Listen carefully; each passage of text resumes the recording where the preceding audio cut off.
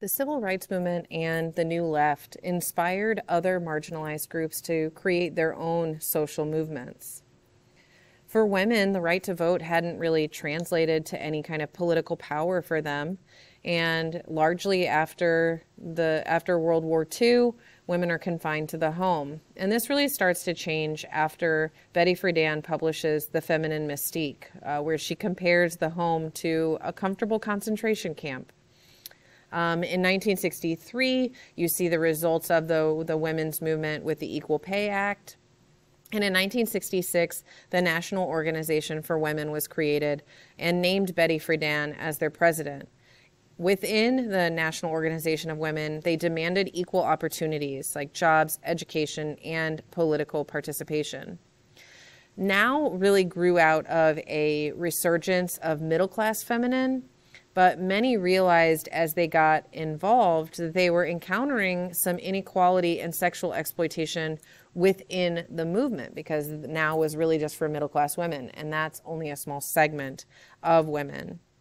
So, new feminism burst onto the scene in 1968 at the Miss America pageant. Outside of the Miss America pageant in 1968, uh, women who were protesting filled garbage cans that were labeled freedom trash can with objects of oppression, things like bras and girdles, and introduced the terms sexism and sexual politics in expanding our idea of personal freedom. One of the biggest surprises um, out of these marginalized groups was the gay liberation movement. Now, in the 1950s, there was the Mattachine Society um, that worked on kind of combating stigma in society. It kind of comes out of the Lavender Scare, which was a portion of the Red Scare where um, gays and lesbians within the government were being targeted. And the Mattachine Society worked to persuade the public that they were normal people but the moment that really sparked the gay liberation movement happened in 1969 during a police raid on the Stonewall Inn, which was a gay bar in New York City. And rather than them giving into police harassment, which they had done, you know, for many years before, they would like give into it, pay fines, whatever.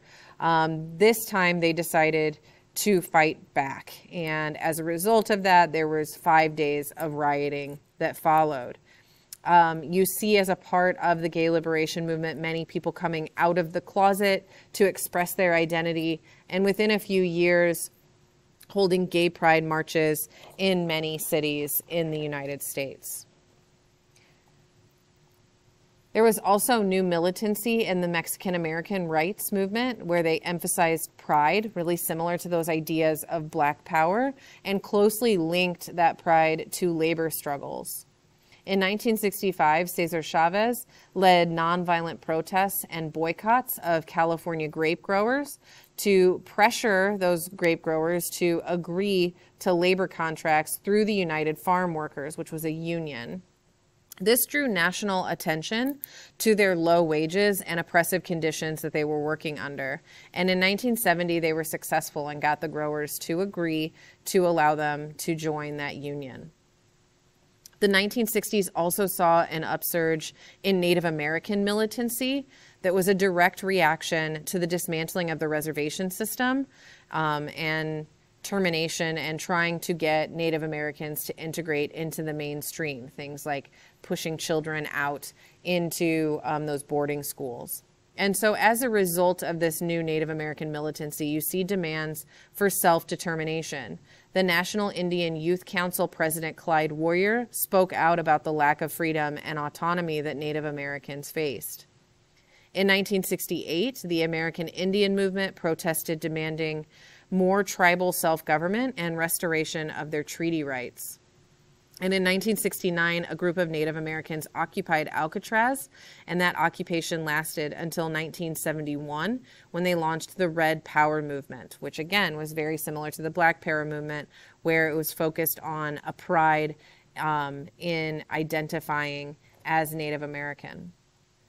Another area of protest was in environmentalism that looked at different parts of American life. Um, environmentalism was more activist and youth oriented than any other earlier conservation efforts. And really, what they focused on was people's quality of life.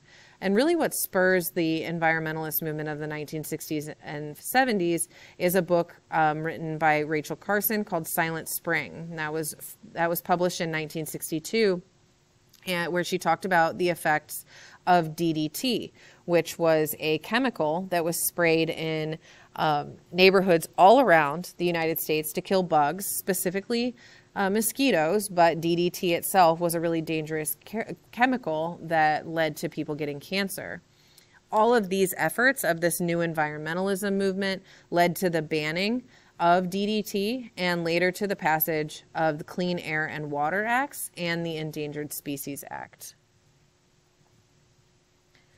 the rights revolution gained legitimacy through the Supreme Court with Chief Justice Earl Warren. And under Chief Justice Earl Warren's court, it expanded American rights in ways that we really hadn't seen before. And some of the most important cases are listed here. Uh, the NAACP versus Alabama in 1958 struck down laws requiring civil rights organizations to make membership lists public. Loving versus Virginia declared laws against interracial marriage unconstitutional. Um, court decisions under Earl Warren also pushed forward the obligation of states to respect the liberties that are outlined in the Bill of Rights. In the Miranda versus Arizona, um, the Supreme Court ruled that a person must be told their rights if they're taken into police custody. This is known as the Miranda rights. Baker versus Carr um, allowed um, for voting our representative districts had to be equal in population. And the Supreme Court, under Chief Justice Earl Warren, also outlined entirely new rights, which kind of became as the became known as the right to privacy. In Griswold versus Connecticut, the Supreme Court overturned a state law that banned contraceptives, and Roe v. Wade created a constitutional right to terminate a pregnancy. 1968 can only be described as a year of turmoil. It was so tumultuous that it seemed like the, the foundations of society itself seemed to be crumbling. In the Vietnam War, we had the Tet Offensive, where the Viet Cong and North Vietnamese launched attacks throughout South Vietnam. Um, U.S. military uh, was surprised by a lot of these attacks. Um, Martin Luther King Jr. Uh, organized a Poor People's March in Memphis to support a garbage collector strike. And while he was in Memphis, he was assassinated. This led to uprisings in cities all across the United States. A student at Columbia University in New York, um, pro, uh, Columbia student protest led to a police assault on students who were protesting in New York City. Robert Kennedy, who is John F. Kennedy's brother, was killed by a Pal- Palestinian nationalist after a stump speech because he was running for president in 1968. Also, um, dealing with the presidential election in 1968, there were many protests outside of the Democratic Convention from anti war activists, and those anti war activists were met by police assault. And the you know the turmoil was not just limited to the United States. There was global turmoil as well. Um, the the events of this year lead to a conservative backlash and demands for public order because it seems like the entire fabric of society is falling apart and ripping, being ripped to shreds. Richard Nixon um, in 1968 runs for president um, as a Republican. He wins the Republican nomination and campaigned as a champion of the silent majority. This was a term that he coined that basically referred to ordinary Americans who believed that the changes of the 1960s had gone too far and that he had a renewed commitment to law and order and he won this election despite a third party um, of George Wallace running as a segregationist. The 1960s transformed American life in unimaginable ways. There were new rights being uh, provided, new understandings of freedom, but it also left a number of unsolved problems and a sense of public confidence in national leaders being undermined. And a lot of those issues are going to come to a head in President Nixon's in Richard Nixon's presidency.